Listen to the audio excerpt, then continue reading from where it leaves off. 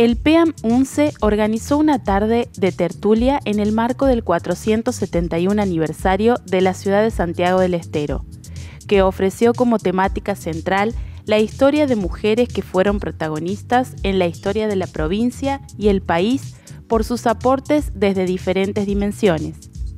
Estudiantes del taller de teatro del PEAM, músicos e invitados especiales interpretaron cuadros teatrales, danzas y canciones alusivas a la vida de Catalina de Enciso, María Remedios del Valle, María Antonia de la Paz y Figueroa, Mamantula y la Rubia Moreno.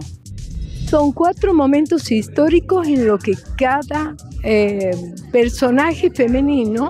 va a intervenir de una u otra manera. Es que la historia santiagueña y la historia en general es sumamente chica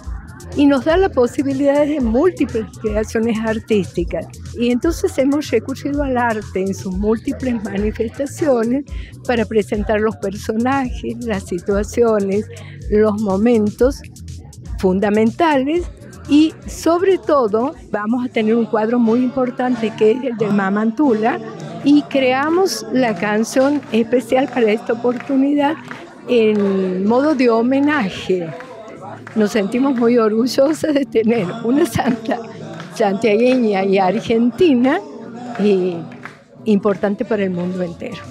se buscaba hacer como una evolución de la historia, entonces se ha buscado una representante de lo que sería la conquista, una que haga referencia a la dimensión espiritual como Mamantula, pero también buscaba otro referente que sea del marco de la actualidad de los afrodescendientes, como es María del Remedio, y posteriormente la rubia Moreno, que está representando la construcción del Estado provincial aproximadamente en 1870, el tiempo de los Tahuadas. El teatro actualmente se enriquece